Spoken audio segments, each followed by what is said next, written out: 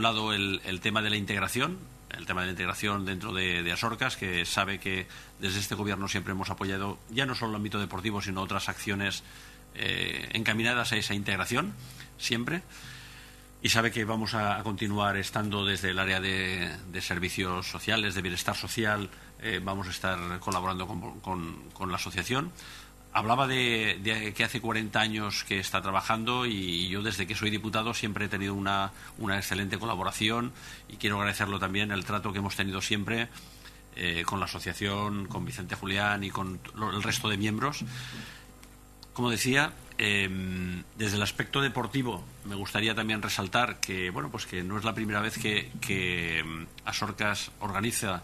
eh, campeonatos de ámbito nacional y eso es de resaltar porque también damos oportunidad de que los jugadores o jugadoras de aquí de Castellón pues puedan competir de forma pues más cómoda aquí en, en nuestra en nuestra casa y ojalá ese eh, esos resultados a nivel deportivo pues podamos eh, compartirlos el sábado con un buen triunfo. Y sobre todo también, y, ya por último, también resaltar que esta línea, en esta línea de trabajo de, deportes, del área de deportes, hemos eh, ya hace tres, cuatro años que iniciamos una, una línea de subvenciones también para deportes de club adaptado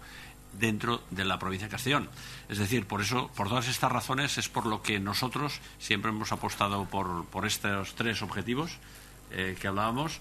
unido a, ese otro que es el de la aportación de dinamización de la economía de Castellón